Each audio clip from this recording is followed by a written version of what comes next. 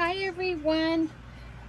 Today I wanted to talk about the difference between being in love with someone and actually loving just the person who they are. I know relationships can be very difficult and last time we um, in one of our previous videos we talked about different things that you can say or do um, instead of saying I love you. So today I kind of want to do it probably like an extension of that video, if you will, difference between loving someone and actually being in love. So let's just dive in right now. And sorry about the background noise. It is summertime, so the AC and fans and whatnot. So, okay, attraction versus deep connection. Sometimes there can just be an attraction with somebody, um, whether it be you like how they smile, you like their jokes, you like how intelligent they are, but actually having a deep um, connection with somebody is very important. And deep connection sets you up for the long term um, for love, right? And the better you have, or the deeper connection you have with somebody, knowing somebody inside and out, and knowing how they react, and knowing um, their likes and dis dislikes, um, the better it is um, for your relationship. And that also shows that um, that you're in love with somebody versus just um, just you love that person as a person, right? I know for me, I have I have a partner and I love him deeply. However, I do have friends, um, like I have friends that I love, right? But I'm not in love with them. And um, like I have a best friend that he is amazing However, I'm not in love with him, but I do love him. I wish him the very best. I, I'm always there for him. He's always there for me. Um, he's also a friend, um, has now become a friend of um, my partner who I have now. And I say now become a friend because I've had this best friend for um, years, over 20 years.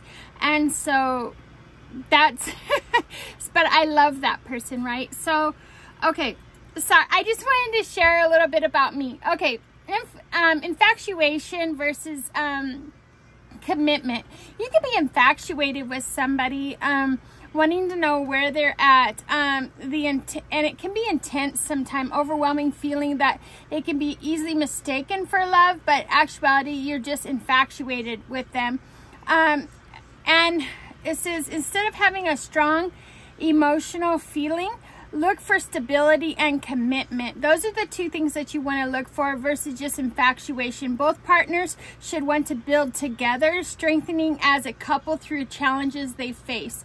So if you're not um, looking toward the future with somebody and um, thinking about the future and how you can help each other be successful and it's your and focusing on your guys' journey, then more than likely it's just an infatuation versus a commitment and um, you just love that person versus um, just having versus having a deep connection with that person.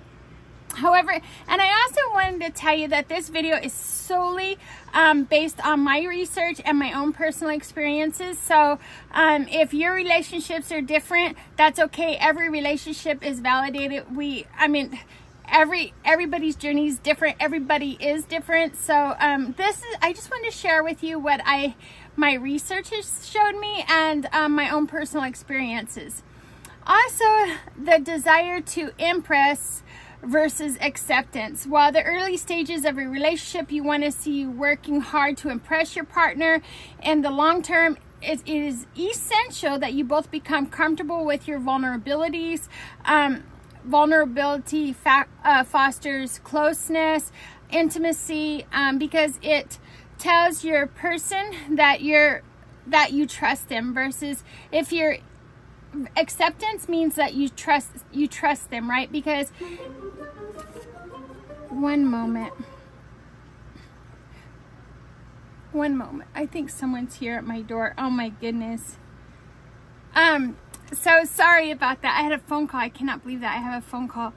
Um Passion versus partnership. The romantic and physical parts of a relationship can be fun and great way to build loving connection, but a well-balanced relationship will always focus on emotional support, um, consistency, and shared goals. If you don't have those things, perhaps it is the passion that you're driving after.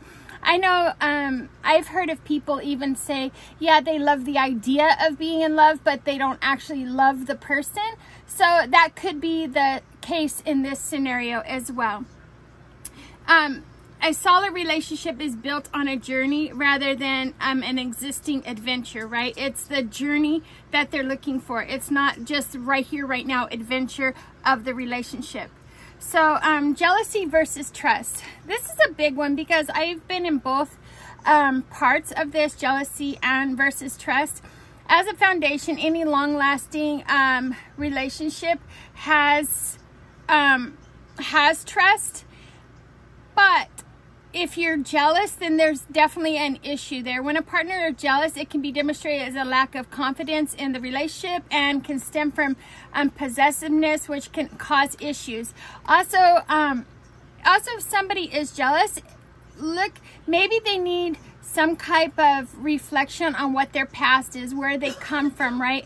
Um, their background. And so that's something that they need to recognize and fix, especially if your partner is or that other person is trustworthy, but yet you still have a jealous person. So um, you definitely need to look at yourself if you are jealous and figure out what is the root cause of your jealousy. Okay. The next one is uh, dependency versus support. For any long-term relationship, both partners must find their happiness within themselves rather than um, relying entirely on someone else for your happiness. Um, it's normal to look to partners for emotional support and guidance, uh, especially in a long-term relationship. Emotional dependence, however, um, passes the point of support. So you have to be, I, support and dependency, it means that you have to have that little bit of confidence in yourself, right?